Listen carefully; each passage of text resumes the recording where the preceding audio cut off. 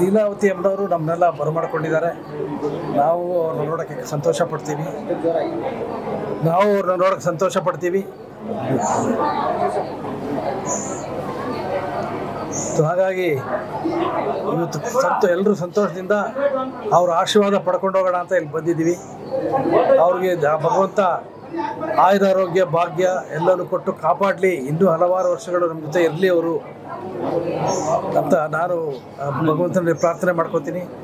ಇನ್ನು ನಾನು ಲೀಲಾವತಿ ಅಮ್ಮನವ್ರ ಮುಂದೆ ತುಂಬ ಜೂನಿಯರ್ ಯಾಕೆಂದರೆ ನಾನು ಎಪ್ಪತ್ತಾರನೇ ಇಸ್ವಿನಲ್ಲಿ ಇಂಡಸ್ಟ್ರಿಗೆ ಬಂದಾಗ ಅವ್ರನ್ನ ತುಂಬ ದೊಡ್ಡ ದೊಡ್ಡ ನಟರಾಗಿದ್ದರು ದೊಡ್ಡದಾಗಿ ಬೆಳೆದಿದ್ರು.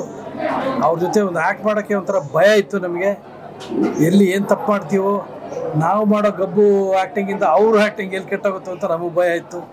ಬಟ್ ಅವರು ಎಲ್ಲರೂ ಸಮಾಧಾನ ಸಮಾಧಾನ ಪಡಿಸಿ, ಸಂತೋಷದಿಂದ ಎಲ್ಲರ ಜೊತೆ ದೊಡ್ಡವ್ರ ಜೊತೆ, ಚಿಕ್ಕವ್ರ ಜೊತೆ ಎಲ್ಲರ ಜೊತೆ ಆನಂದವಾಗಿ ಕೆಲಸ ಮಾಡಿದ್ದಾರೆ.